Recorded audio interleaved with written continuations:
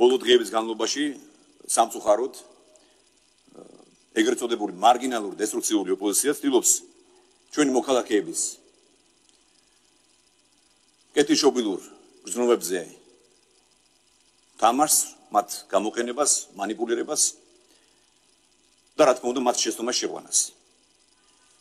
ჩვენ, ჩვენი ხელისუფლება, ჩვენი შესაძლებლობის ფარგლებში ვაკეთებთ მაქსიმუმს. იმისთვის რომ გამოხატოთ მაქსიმალური ხარდაჭერა ის ქრება პოლიტიკური, ჰუმანიტარული, ადამიანური თუ სხვა ჩვენი უკრაინის მების და დების მიმართ. ისაც ხდება უკრაინაში, რა თქმა უნდა, ჩვენთვის ყოველთვის კარგად არის ცნობილი. ჩვენ ეს გამოცადეთ ბევრად უფრო ადრე, 28 წელს.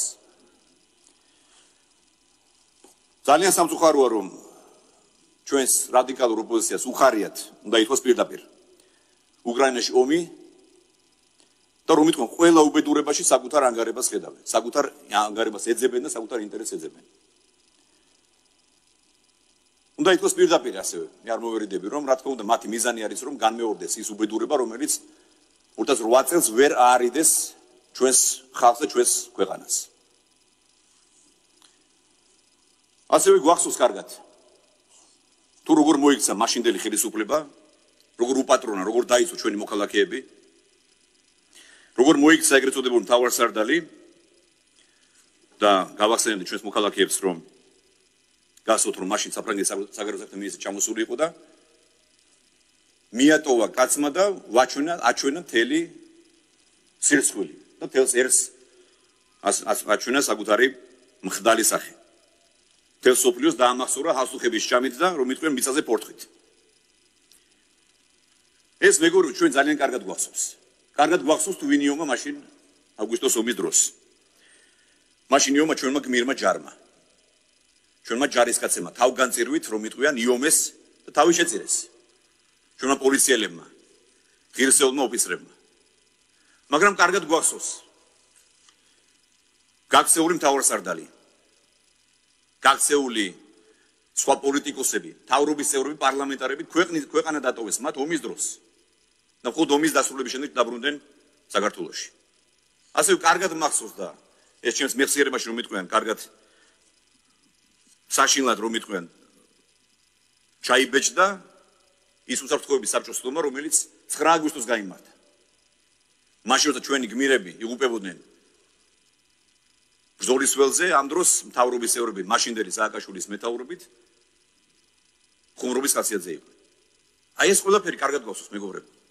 და დღეს იგივე ხალხი ვიკიჟინებს ჩვენ რომ ჩავერთოთ ომში. სანქციები დაუწესოთ თურმე რუსეთს. ომში მივიღოთ მონაწილეობა უკრაინაში. და ასე შემდეგ. მე მინდა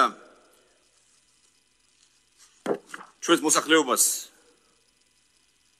შევახსენო კარგად, თუმცა ვიცი რომ რა თქმა უნდა აბსოლუტურ მრავალსო ჩვენი მოქალაქეების ასე ფიქრობენ და მათ კარგად აქვთ გააზრებული საფრთხე და რისკები, რომელიც დღეს მთელი ევროპის უსაფრთხოების სისტემის მიმართ არსებობს. დღეს ევროპაში მიმდინარეობს უზარმაზარი ომი. ყველაზე დიდ ქვეყანაში, ევროპის ყველაზე დიდ სახელმწიფოში მიმდინარეობს ომი. და უკრაინის დედაქალაქი იბომბება. და ამის შემჩერებელი დღეს ხედავთ, რომ არავინ არ არის. და თქვა პირდაპირ რომ სანქციები არ არის ეფექტური საშუალება. და ისიც თქვა რომ დღეს უკრაინაში ვინ ომობს? ომობს უკრაინელი ჯარისკაცი, უკრაინის ჯარი. ამიტომ ჩვენ კარგად უნდა გვახსოვდეს რომ ქვეყანა და მთელი მსოფლიო დღეს არის ძალიან დიდი გამოწვევების წინაშე. ამ სიტუაციაში ყოველგვარ ემოცია, ყოველგვარ გაუთვლელი ნაბიჯები, გაუთვლელი სიტყვა ქმედება არის რა თქმა უნდა ძალიან დიდი რისკის შემცველი. და ჩვენ როგორც ხელისუფალნი, რომელიც პასუხებელი ვართ, როგორც საშინაო საგარეო პოლიტიკაზე, რა თქმა უნდა მოგეთხოვა პასუხი და პასუხისგებელი ვართ ჩვენ ყველა ყველაფერზე.